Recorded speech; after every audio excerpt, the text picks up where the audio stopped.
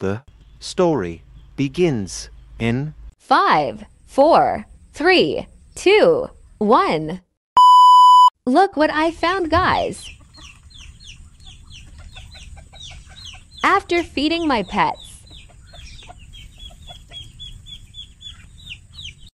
I walked around my farm.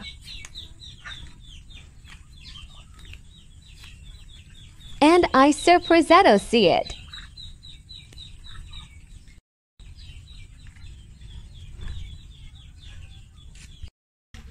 A beautiful and colorful butterfly. It is big and colorful.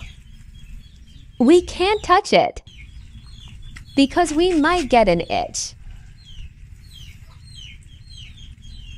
Maybe he can't fly well at his size.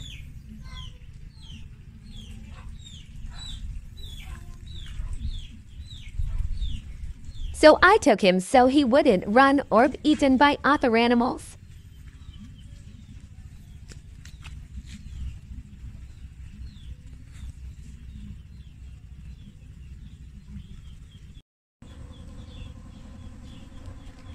I think he came from this tree. Thank you for watching.